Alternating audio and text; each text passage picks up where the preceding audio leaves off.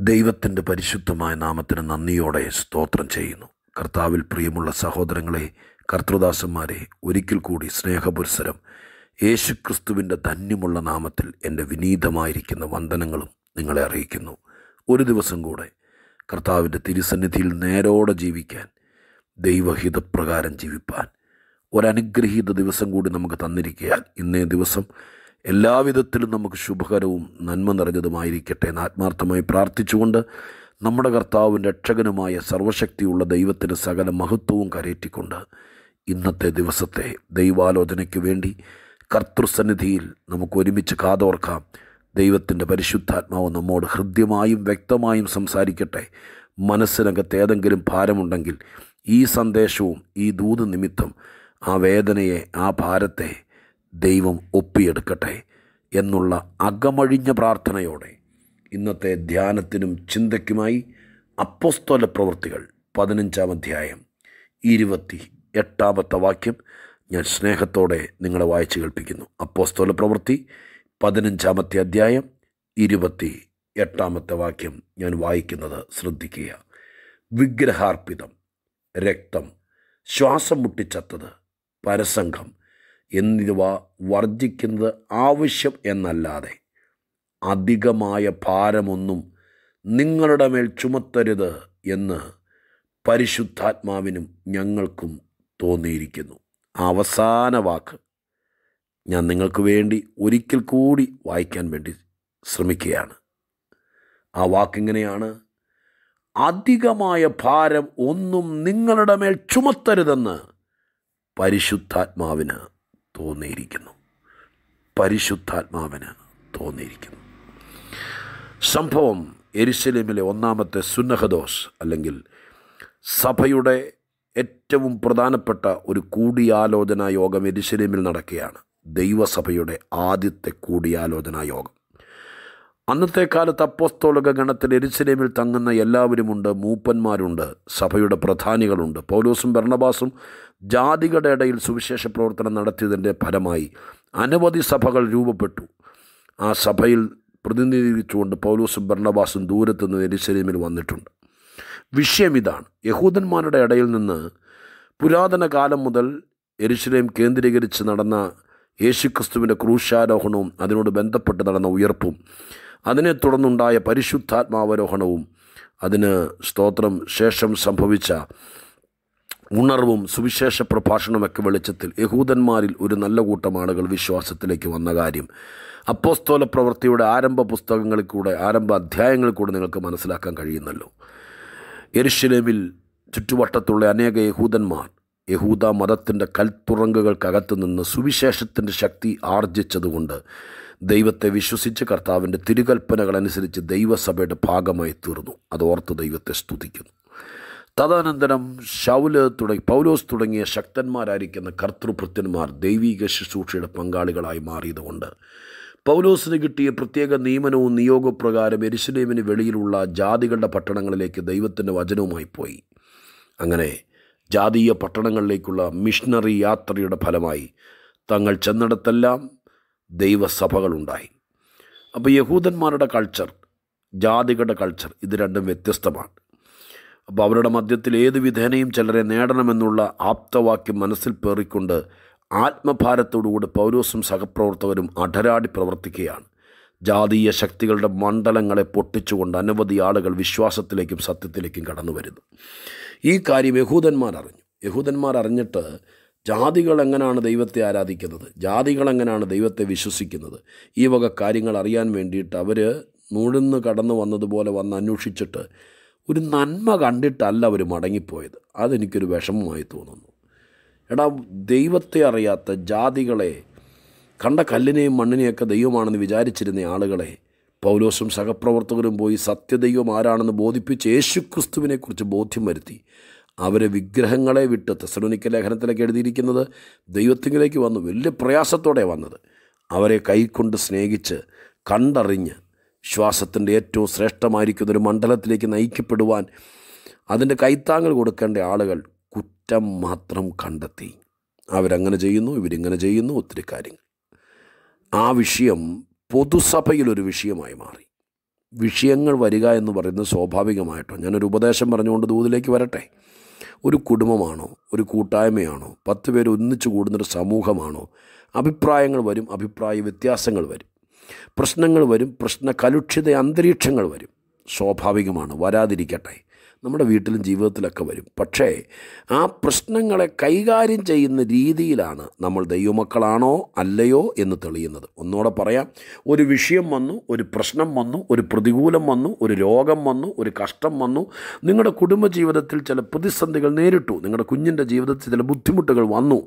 സഹചരെ സഹോദരങ്ങളെ പ്രയാസങ്ങൾ ബുദ്ധിമുട്ടുകൾ കഷ്ടങ്ങളൊക്കെ ഉണ്ടാകാം. അതുകൊണ്ടാണല്ലോ അതിന് നിയമങ്ങളും പരിഹാര മാർഗങ്ങളും ശുശ്രൂഷകന്മാരെയൊക്കെ ദൈവം വെച്ചിരിക്കുന്നത്. പാപം ചെയ്യാതിരിക്കാൻ വേണ്ടിയിട്ടാണ് ദൈവത്തിന്റെ വചനം മുഴുവൻ പറയുന്നത്. അതിനിടയിലും പറയുന്നു കുഞ്ഞുങ്ങളെ പാപം ചെയ്താൽ നിങ്ങൾക്ക് ക്രിസ്തു എന്ന നിർദോഷവും നിഷ്കളങ്കനുമായ കുഞ്ഞാടിന്റെ പുണ്യാഹരക്തം ദൈവത്തിന്റെ സന്നിധിയിലുണ്ട്. നിങ്ങൾക്ക് അഭയം പ്രാപിക്കാം. നിങ്ങൾക്ക് ആശ്രയിച്ച് രക്ഷപ്പെടാം. ഇതിനൊക്കെ വഴി ദൈവത്തിന്റെ വചനത്തിൽ വെച്ചിട്ടുണ്ട്. പ്രതിസന്ധികളുണ്ടെങ്കിൽ പ്രിയപ്പെട്ടവരോട് ഞാനൊരു ദൂത് വീണ്ടും പറയുന്നു. പ്രതിസന്ധികളോ പ്രതികൂലങ്ങളോ ഉണ്ടെങ്കിൽ അത് കൈകാര്യം ചെയ്യുന്ന രീതി ആത്മീകമായിരിക്കണം. ആത്മീകമായിരിക്കണം. ഇവരത് വലിയ പ്രശ്നമാക്കി വലിയ പ്രതിസന്ധിയാക്കി എരുഷലേമിലെ സദസ്സിലേക്കും സഭയിലേക്കും സമുന്നത നേതൃത്വ നിരയിലേക്കും ആ വിഷയങ്ങൾ കൊണ്ടുവരികയാണ്. ഭയങ്കര വാദം നടന്നു എന്നാണ് എഴുതിയിരിക്കുന്നത്. വാക്യത്തിലൊക്കെ എഴുതിയിരിക്കുന്നത് ഇങ്ങനെയാണ്. സ്തോത്രം വളരെ തർക്കമുണ്ടായി വളരെ വാദമുണ്ടായി എന്നാണ് ഇവിടേക്ക് എഴുതിയിരിക്കുന്നത്. പതിനഞ്ചിന്റെ ആറിലൊക്കെ വായിക്കുന്നു തർക്കമുണ്ടായി ഭയങ്കര തർക്കം ഭയങ്കര വാദം ഈ വിഷയത്തെക്കുറിച്ചുണ്ടായി. സ്തോത്രം. പക്ഷേ ഇതെല്ലാം സ്വാഭാവികമാണെന്ന് പറഞ്ഞല്ലോ. പക്ഷേ നാല് ചുമരുകൾക്ക് വെളിയിലേക്ക് ആ വിഷയത്തെ കൊണ്ടുവരരുത്. വീട്ടിനകത്തൊരു അഭിപ്രായ വ്യത്യാസം ഉണ്ടാകാം. പക്ഷേ ഞാൻ നിങ്ങളോട് വിനീതമായിട്ട് പറയുന്നു എന്റെ പ്രിയപ്പെട്ടവരെ വീടിനകത്തെ വിഷയം ആ കോൺഗ്രിയേഷനകത്ത് അല്ലെങ്കിൽ ആ കൂട്ടായ്മയ്ക്കകത്ത് നടന്ന തർക്കം അതിനകത്ത് തീർന്നു അതിനകത്ത് പരിഹസിച്ചു പരിഹരിച്ചു. നേതൃത്വ നിലയിൽ നിൽക്കുന്നവർ അത് പരിഹരിച്ചതിന് ശേഷമാണ് സ്തോത്രം അതിനെ പുറത്തേക്ക് വിട്ടത്. സ്തോത്രം. ശുഭമായിരിക്കും ഞാൻ ആ വാക്ക് ഇരുപത്തി ഒൻപതാം വാക്ക് ഇരുപത്തെട്ടാണ് ഇപ്പോൾ നമ്മൾ വായിച്ചത്. ഇരുപത്തി ഒൻപതാം വാക്യം കൂടി ചേർത്ത് വായിക്കട്ടെ പതിനഞ്ചിന്റെ. ഇവ വർജിച്ച് സൂക്ഷിച്ചു കൊണ്ടാൽ നന്ന് ശുഭമായിരിക്കും അവരവസാനിച്ച് വിടുന്ന എങ്ങനെയാണ്? പോയി തട്ടടാ. പോയി ഇതിനെ ഇതിനപ്പുറത്തേക്ക് വല്ലതും പ്രവർത്തിക്കുന്നവനെ ശരിയാക്കണമെന്ന് പറഞ്ഞല്ല വിട്ടത്. അവരൊരു ആശീർവാദത്തോട് വിടുകയാണ് ശുഭമായിരിപ്പീൻ. അതിനർത്ഥം എന്താ? നാല് ചുമരുകൾക്കകത്ത് പല കാര്യങ്ങൾ നമ്മൾ ചർച്ച ചെയ്തു. മുഖം കർപ്പിച്ച് സംസാരിച്ചു. ചില കാര്യങ്ങളിൽ തർക്കം വന്നു. ചില കാര്യങ്ങൾ തമ്മിൽ വാദിച്ചു. ചില കാര്യങ്ങൾ എഴുന്നേറ്റ് നിന്ന് ശബ്ദം ഉയർത്തി പറയേണ്ടി വന്നു. സ്വാഭാവികമാണ്. പറയേണ്ടി വന്നു. സ്തോത്രം. പറഞ്ഞു. പൗലോസ് പറഞ്ഞു. പത്രോസ് പറഞ്ഞു. ഇവരൊക്കെ തമ്മിൽ പറഞ്ഞു. പക്ഷേ ആ വിഷയം പ്രാർത്ഥിച്ച് അവസാനിപ്പിക്കുമ്പോൾ നേതൃത്വ നില പുറത്തേക്ക് കരം നീട്ടി അവരെ സ്വാഗതം ചെയ്ത് അല്ലെങ്കിൽ ഇറക്കി വിട്ടത് ഇങ്ങനെയാണ് വഴക്കുണ്ടാക്കരുതെന്നല്ല. സൂക്ഷ്മതയോടെ ജീവിച്ച് ശുഭമായിരിപ്പീൻ. ഞാൻ നിങ്ങളോട് പറയാം ഇതിന് വെളിയിൽ ശുഭമായിരിക്കണം. വീടിന് വെളിയിൽ ശുഭമായിരിക്കണം. വിഷയങ്ങളുടെ വെളിയിൽ ശുഭമായിരിക്കണം. ഓക്കെ സ്തോത്രം. എന്ന് പറഞ്ഞുകൊണ്ടാണ് അവരെ ഇറക്കി വിടുന്നത്. ഞാൻ പറയാൻ വന്ന പ്രധാനപ്പെട്ട കാര്യം ഇതാണ്. സ്തോത്രം. ഈ കാര്യങ്ങളെല്ലാം കൂടി ആലോചിച്ചു ദൈവസഭയാണ് കൂടി ആലോചിച്ചത് ആലോചിച്ചപ്പോൾ പര്യവസാനത്തിന്റെ കൺക്ലൂഷൻ പറയുന്നത് ഇങ്ങനെയാണ്. സ്തോത്രം. അധ്യക്ഷനായിരിക്കുന്ന കർത്തൃദാസൻ. സ്തോത്രം. അത് എഴുതി സകല ജാതികൾക്കും മനപ്രയാസം നേരിട്ടു മനോദുഃഖം നേരിട്ടു മനസ്സ് മുറിഞ്ഞു. ഞങ്ങളെ ചൊല്ലിയാണല്ലോ ഈ വാദമുണ്ടായത്. ഞങ്ങളെ ചൊല്ലിയാണല്ലോ ഈ തർക്കമുണ്ടായത് എന്നൊരു മനോ മനസ്സിന്റെ ഒരു ഭാരം ജാതികൾക്കുണ്ടായി. ഞാനൊരു കാര്യം ചോദിച്ചോട്ടെ. നമ്മളെ ചൊല്ലി ഒരു വിഷയം ഉണ്ടായാൽ അങ്ങനത്തെ ഒരു മനസാക്ഷിക്കുത്ത് എത്ര പേർക്കുണ്ടാവും? എന്റെ കർത്താവേ ഞാൻ നിമിത്തമാണല്ലോ ഈ ഭാരം മുഴുവൻ സഹിക്കേണ്ടി വന്നത്. ഞാൻ നിമിത്തമാണല്ലോ ഇപ്പോൾ ഈ കമ്മിറ്റി വിളിക്കേണ്ടി വന്നത്. ഞാൻ നിമിത്തമാണല്ലോ ഇപ്പോൾ ഈ തർക്കം ഉണ്ടായത് എന്നൊരു ഭാരം. അയ്യോ ആ ജാതികളെ ഓർത്ത് സ്തോത്രം ചെയ്യുന്നു. അവർക്കങ്ങനെ ഒരു പ്രയാസം നേരിട്ടു. ഞങ്ങൾ നിമിത്തം അവർക്കൊരു വിഷമം ഉണ്ടായല്ലോ. ഞങ്ങൾ നിമിത്തം അവർക്കൊരു ഭാരം ഉണ്ടായല്ലോ. നല്ല സ്വഭാവത്തിന്റെ കൂട്ടാളികളോടാണ് ഞാനിത് പറയുന്നത് കേട്ടോ. നമ്മൾ നിമിത്തം ഒരു പ്രയാസം ഒരാൾക്കുണ്ടായാൽ അതിനകത്തൊരു കുറ്റബോധം അതിനകത്തൊരു അപകർഷതാബോധം ഉണ്ടാകണം ദൈവമക്കളെ. ഞാൻ നിമിത്തമാണല്ലോ എന്നൊരു ബോധം. വരുത്തത്തില്ല സാത്താൻ. മിടുക്കനും തന്ത്രശാലിയുമായ സാത്താൻ. സ്വയനീതീകരണത്തിലും ന്യായീകരണത്തിലും നമ്മളെ ഇങ്ങനെ ചില്ല് ചില്ലെന്നും പറഞ്ഞ് നിർത്താനേ ശ്രമിക്കത്തുള്ളൂ. പക്ഷേ ഞാൻ നിങ്ങളോട് പറയുന്നു നമ്മൾ നിമിത്തം ഒരു പ്രയാസമുണ്ടായാൽ ഞാകത്തിരുന്ന് കരയണം. അപ്പാ ഞാൻ നിമിത്തം എന്റെ കുഞ്ഞുങ്ങളും കൂടി കരയുവാണല്ലോ. ഞാൻ നിമിത്തം എന്റെ അപ്പനും അമ്മയും കൂടി ഭാരപ്പെടുവാണല്ലോ. ഞാൻ നിമിത്തം ദൈവമേ അവരും കൂടെ അങ്ങനെയൊന്ന് കരഞ്ഞു നോക്കി നിശ്ചയമായിട്ടും ആ വിഷയത്തിനകത്ത് ദൈവം മറുപടി പറയും. ഞാൻ പറയാൻ പോവാ. നിങ്ങൾക്കൊരു ഭാരം ഉണ്ടാകണം. അപ്പാ ഞാനിങ്ങനെ രോഗിയായി. എന്നും എനിക്ക് വേണ്ടി പണം ചിലവാക്കുകയാണല്ലോ എന്റെ പ്രിയപ്പെട്ടവൻ സ്വത്രം എനിക്ക് എനിക്ക് അദ്ദേഹത്തെ വേണ്ടുമെന്ന് കയറിയുമ്പോൾ ഞാൻ നിമിത്തം ഞാൻ നിമിത്തം ഞങ്ങൾ നിമിത്തം ഞങ്ങൾ കുറ്റക്കാരല്ല പക്ഷേ പെട്ടെന്നുണ്ടായ ഒരു പ്രയാസത്തിന്റെ വെളിച്ചത്തിൽ ഞാൻ നിമിത്തം പലരും കഷ്ടപ്പെടുകയാണല്ലോ. ഞാൻ നിമിത്തം പൗലോസ് സ്വോത്ര ഒരു അപവാദമേക്കുകയാണല്ലോ ഞാൻ നിമിത്തം ഞങ്ങളുടെ കർത്തൃദാസൻ പോലും നിന്ദിക്കപ്പെടുകയാണല്ലോ എന്നൊരു തോന്നൽ വന്നു.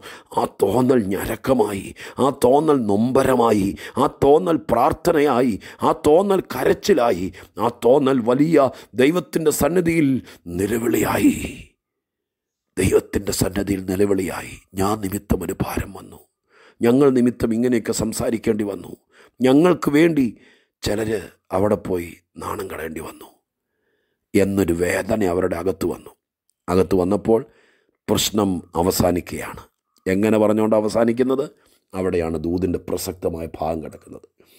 അധികമായ ഭാരമൊന്നും നിങ്ങളുടെ മേൽ ചുമത്തരുതെന്ന് പരിശുദ്ധാത്മാവിന് തോന്നിയിരിക്കുന്നു. ഞാൻ വേണ്ട പദങ്ങൾ മാത്രമേ പുറത്തേക്ക് എടുക്കുന്നുള്ളൂ. പരിശുദ്ധാത്മാവിന് തോന്നി. എന്ത് തോന്നി? അധികമായ ഒരു ഭാരവും നിങ്ങളുടെ മേൽ ചുമത്തരുതെന്ന്. ബാക്കി പശ്ചാത്തലങ്ങളെല്ലാം വിടുന്നു. ഇനിയുള്ള ചില മിനിറ്റുകൾ ക്രീമായ കാര്യം പിടിച്ച് നിങ്ങളുടെ കയ്യിൽ തരുന്നു. ആരൊക്കെ നിങ്ങൾക്കെതിരെ എന്തെല്ലാം ചുമത്തിയാലും ആരൊക്കെ നിങ്ങൾക്കെതിരെ സകല തെളിവുകളും കൊണ്ടുവന്നാലും എത്ര ശക്തന്മാർ നിങ്ങൾക്കെതിരെ നിങ്ങളെ അടിച്ചമർത്തത്തക്ക രീതിയിലുള്ള കാര്യങ്ങളെ കൊണ്ടുവന്നാലും നിങ്ങൾക്കെതിരെ നൂറ്റമ്പത് തെളിവുകൾ കയ്യിൽ വെച്ച് വാദിക്കാൻ വേണ്ടി വളരെ ശക്തന്മാരെ രംഗത്തിറക്കിയാലും പരിശുദ്ധാത്മാവിന് തോന്നിയിരിക്കുന്നു. ഹാലേ ലുയ്യ എന്തു തോന്നി? അധിക ഭാരമൊന്നും നിങ്ങളുടെ മേൽ ചുമത്തരുത്. ദൈവാത്മാവിന് അങ്ങനെ ഒരു തോന്നൽ എന്നെക്കുറിച്ചുണ്ടായാൽ എന്റെ മേൽ ആരൊക്കെ വട്ടം കൂടി നിന്നാലും ആരൊക്കെ ചക്രം ചവിട്ടി നിന്നാലും ആരൊക്കെ ശരിക്കും ഇപ്പോൾ കാണിച്ചു തരാമെന്നും പറഞ്ഞ് മസിലും വീർപ്പിച്ച് നിന്നാലും എന്റെ ദൈവം ഇന്ന് രാവിലെ വായിച്ചപ്പോൾ എന്നോട് പറഞ്ഞ കാര്യം നിങ്ങളോട് പറയാൻ വേണ്ടി പറഞ്ഞ കാര്യം ഞാൻ നിങ്ങൾക്ക് കൈമാറട്ടെ. പരിശുദ്ധാത്മാവിന് തോന്നിയിരിക്കുന്നു. നിന്നെ ഇനി കരയിപ്പിക്കരുത്. നിന്നെ ഇട്ട് നീ വെല്ലുവിളിക്കരുത്. നിന്നെ വെച്ച് നീ വാദിക്കരുത്. നിന്നെ ഇനി കളിയാക്കരുത്. നിന്നെ ഇനി അധികം ഭാരം ചുമത്തരുത്. നിന്റെ മേൽ ഈ കടവും ഞെരുക്കവും ഭാരവും ഈ ലോണും ഇതെല്ലാം നിന്റെ മേൽ കെട്ടിവെക്കരുത്. നിനക്ക് ഇനി അധിക ഭാരം വരുത്തരുത് എന്ന് ദൈവത്തിന്റെ പരിശുദ്ധാത്മാവിന് തോന്നിയിരിക്കുന്നു. എനിക്കിന്ന് രാവിലെ ഈ വാക്യം വായിച്ച് സ്തോത്രം ചെയ്ത് പ്രാർത്ഥിക്കുമ്പോൾ ഇന്നത്തേക്കെന്നല്ല ഒരായുസിലേക്കുള്ള ധൈര്യം എന്റെ ഹൃദയത്തിനകത്ത് വന്നു ദൈവമക്കളെ. ഞാൻ നിങ്ങൾക്കത് പകർന്നു തരികയാണ് ഡാ ദൈവാത്മാവിന് തോന്നിയിരിക്കുന്നു. നിന്നെ അനാവശ്യമായിട്ട് നിന്ദിക്കരുത്. നിന്നെ അനാവശ്യമായിട്ട് പന്ത് തട്ടാൻ ഇട്ട് കൊടുക്കരുത് നിന്നെ അവ അനാവശ്യമായിട്ട് വേദനിപ്പിക്കാൻ അനുവദിക്കരുത്. എന്റെ സഹോദരങ്ങളെ സഹോദരിമാരെ സ്വർഗത്തിൽ ദൈവത്തിന്റെ പരിശുദ്ധാത്മാവിന് അങ്ങനെ ഒരു തോന്നൽ. നിന്നിൽ വസിക്കുന്ന ദൈവാത്മാവിന് തോന്നിയാൽ കാര്യം ജയിച്ചില്ലേ?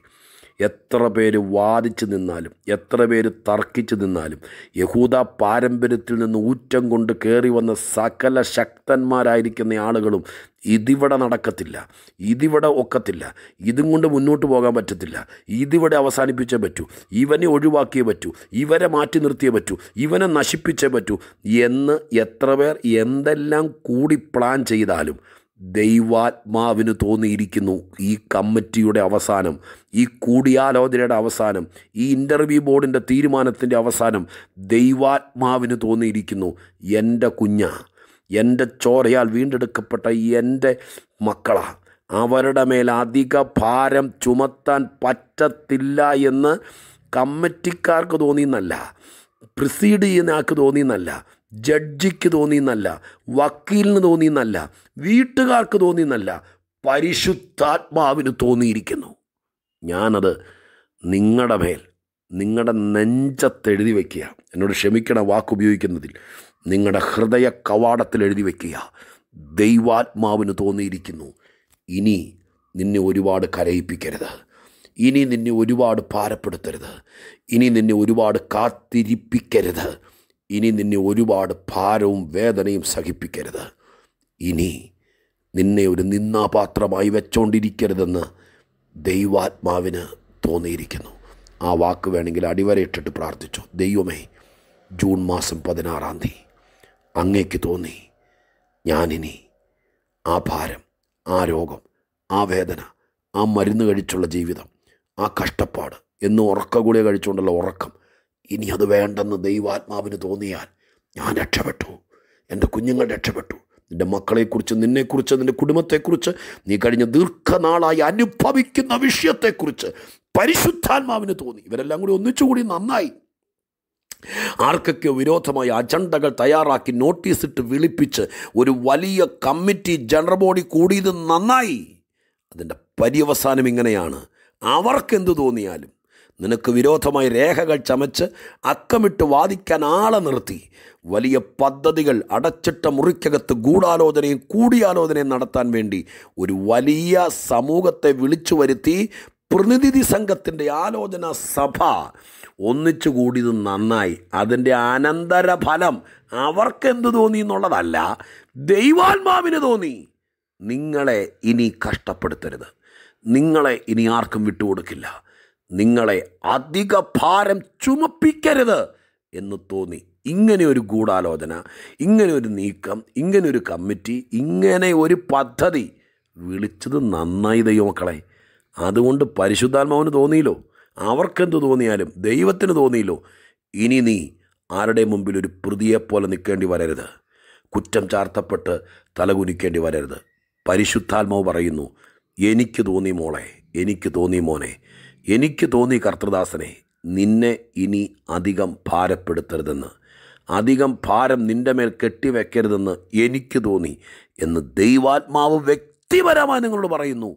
വ്യക്തിപരമായി തന്നെ ഏറ്റെടുത്തു ഞാൻ പ്രാർത്ഥിക്കാൻ പോവുക പരിശുദ്ധ ദൈവമേ ഞങ്ങളുടെ സ്വർഗീയ പിതാവേ. ചിലർ കൂടി കുറ്റം ചാർത്തി കുറ്റം പറഞ്ഞ് കുറ്റം എഴുതി വെച്ച് പേപ്പറിൽ രേഖയാക്കി. ഇതൊക്കെ ഞങ്ങൾ കണ്ടു. ഞങ്ങളെ ചൊല്ലി പലയിടത്തും പല വിഷയമുണ്ടായി. ഞങ്ങൾ നിമിത്തം പലരും ബുദ്ധിമുട്ടി. ഞങ്ങൾ നിമിത്തം പലരുടെ മുഖം വാടി. ഞങ്ങൾ നിമിത്തം പലരും വേദനിച്ചു.